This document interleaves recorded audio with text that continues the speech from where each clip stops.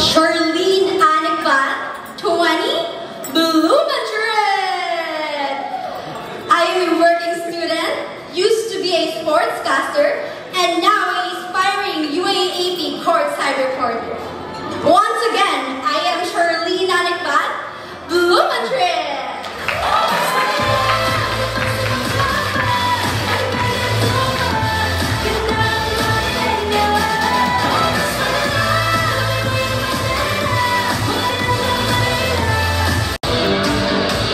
And now we have Charlynn Anne Icban, hailing from Blumentritt, Manila. She is 21 years old and a nursing student. Her role models are her mom and dad, and her interests are painting, mountain climbing, and playing musical instruments. Her passion is conducting outreach projects.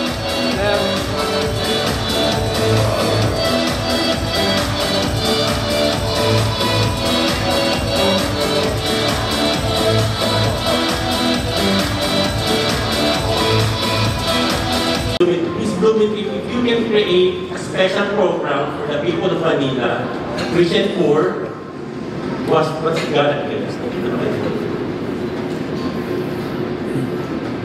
Good day, everyone. Hi. So, um, as many didn't know, uh, I was raised by my grandparents, and um, my advocacy had evolved. So, from fighting or empowering youth, which is sex education, now um, my most genuine advocacy is also to empower elderly lives. So most of the people today only focuses on the youth. We all know that because we all know that the youth is the future or the success of our future, uh, the success of the future of our nation.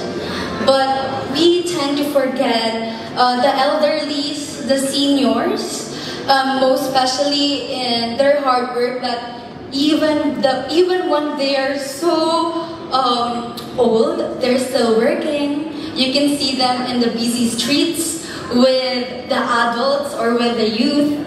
That's why I am here to uplift my advocacy, which is to empower the elders as well through giving them genuine and proper care, love, and respect. It is not. Um, it is not because that they're already aged we tend to forget them or just disregard them of all the opportunities that they can offer to us. It is also important and essential that we gain to accept and how their ideas, their hard work has been put in in the situation we can that we can see as the progress of our nation and economy.